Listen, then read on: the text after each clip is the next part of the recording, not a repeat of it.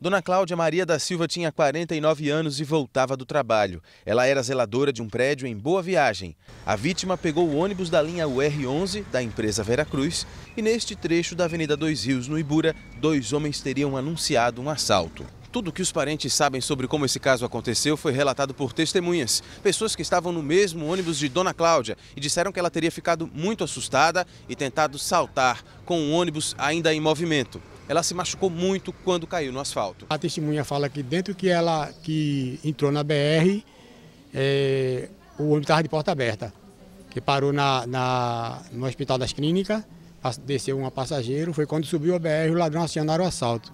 E quando chegou na, na passarela, ele diminuiu a velocidade, pensando que os ladrões iam descer lá. Aí os ladrões se, se brigaram, chamaram para lavão com ele disse que ia matar todo mundo. Eu acho que ela desesperou-se e deve ter pulado do ônibus. A vítima foi socorrida por uma viatura da Polícia Militar e levada para uma unidade de pronto atendimento. Em seguida, transferida para o Hospital da Restauração, onde morreu na noite do domingo. Minha raiva é todinha porque a obrigação dele era ter voltado para socorrer. Eu espero justiça.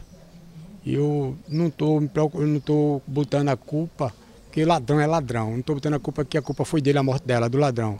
E também não estou botando a culpa em cima da, da do motorista. Estou botando a culpa na empresa, que o ônibus estava de porta aberta.